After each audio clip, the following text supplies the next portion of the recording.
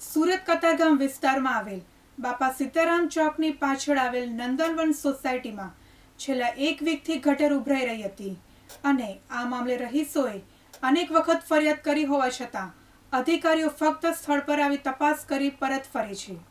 હાલમાં ડેન્ગ્યુ અને મલેરિયા જેવા અન્ય તાવના વાયરા ફેલાઈ રહ્યા છે.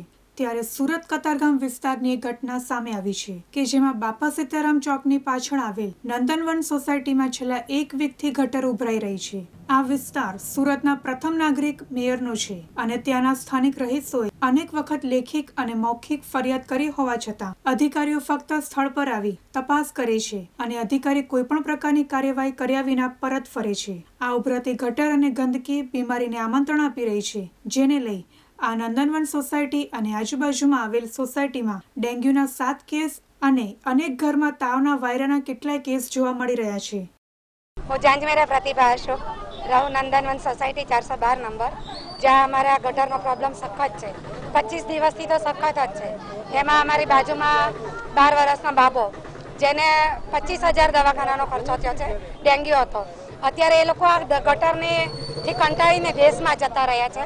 અહીંયા એની સારવાર કરાવી. એક તો દવાખાનાનો પ્રોબ્લેમ દિવાળીનું વેકેશન કોઈ ડૉક્ટર મળતા નહીં હતા. જેમ તેમ કરીને સારવાર કરાવીને અત્યારે દેશમાં છે. અને આ મારા સાસુ, શાંતુબેન વેલજીભાઈ જાનમેર. એમને ઝેરી મેલેરિયા વ્હાઇટ કણ ઘટી ગયા હતા. એને તાત્કાલિક સારવાર મેં મસ્કતી હોસ્પિટલ ભાગળ પર અપાવી હતી. જેમને ત્રણ દિવસ દાખલ કર્યા હતા. એ અત્યારે એ પણ દેશમાં જ જતા રહ્યા છે. આનો કોઈ નિકાલ થતો નથી. મારું નામ અશોકભાઈ. અશોકભાઈ આ કઈ જગ્યાએ અ, નંદનવન. સાતથી આઠ દિવસ થયા છે.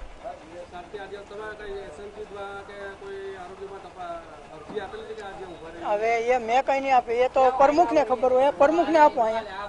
કારણ કે એ પ્રમુખને ખબર હોય, અરજી આપી કે નહીં આપી.